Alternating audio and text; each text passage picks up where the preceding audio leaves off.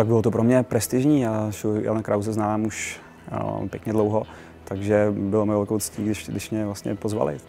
Nebylo to vůbec žádný těžký rozhodování. Věřím, že to bude ohledně mého biznisu, možná něco z osobního života a moc netuším, nechám se překvapit.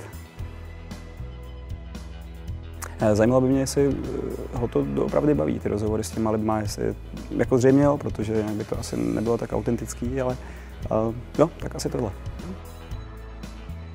Docela jo, jsem zvědavý, uvidíme, jak to dopadne. Bojím se, že mě, že mě pan Kraus pěkně vykostí, tak doufám, že bude hodnej.